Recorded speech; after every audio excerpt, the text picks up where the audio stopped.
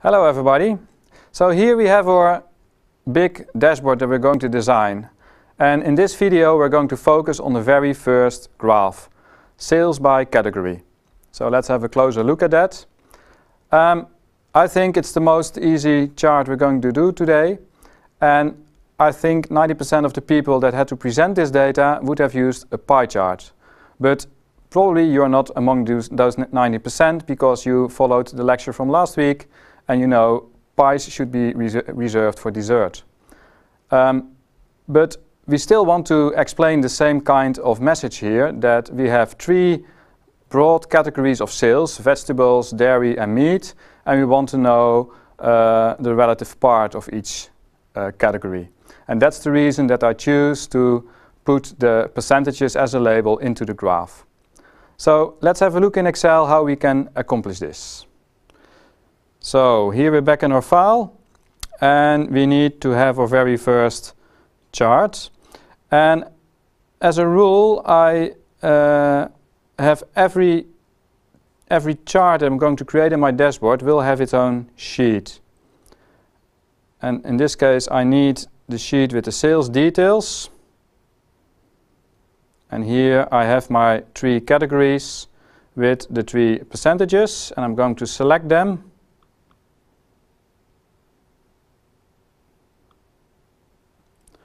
and I'm going to insert a chart. And in this case, we use one of the basic charts, which is the bar chart, and we always use a 2D bar, never 3D. And here I have my default Excel uh, bar chart, and it's rather okay, uh, but it's not going to fit in our dashboard, so we have to make some adjustments.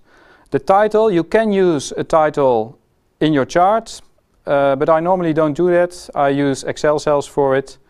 Um, so I'm going to get rid of the chart. And I think that the gap between uh, the, the white space between the bars, to my taste, it's a bit too much. So I'm going to change that. So I will select the range. I hit the right mouse button and I'm going to format the data series.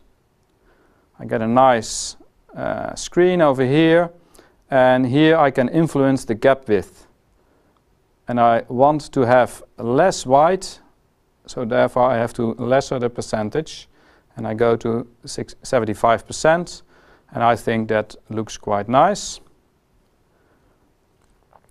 And then I need to know uh, how big my chart should be and I have a little trick for that so I'm going to show you that. I have my dashboard over here. Um, and I will insert a rectangle, put it over here.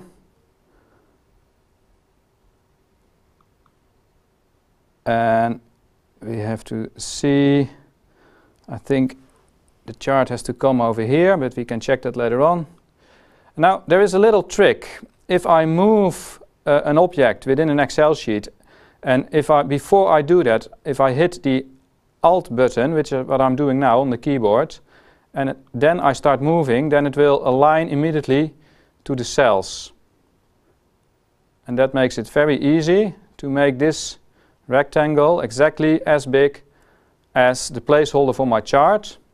And now I can see over here the format is 2.15 inch by 2.15 27 inch and I'm going to use that to create exactly the right format for my chart. So we can delete that again and we go back to our sales details. I will select the chart. You can see it over here. Go to the format.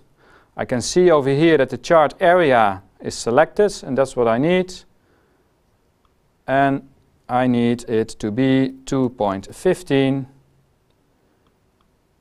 by 2.27. And now it's the right format. Um, the trouble now it's solid white and I don't like that so I'm going to remove the background.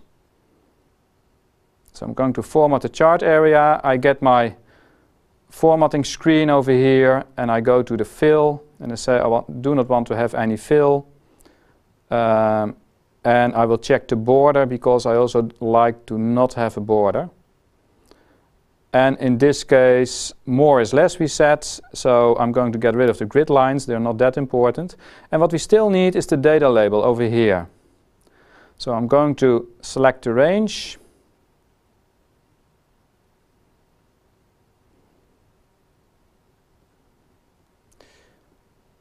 and I'm going to add an object to my graph and I'm going to say I need data labels. Then they're outside my bars. I don't like that. I want them inside. So I select them. I can see over here that they're selected. And now I say I want to have them at the inside, at the base. But black on blue, that's not that good. So we have to change the font. So I go from label options to text options to text fill. And I'm going to change the color to white. And there we are. Now I'm going to select my chart. I will cut it with Ctrl and X and I will go to my dashboard. I will select the right cell.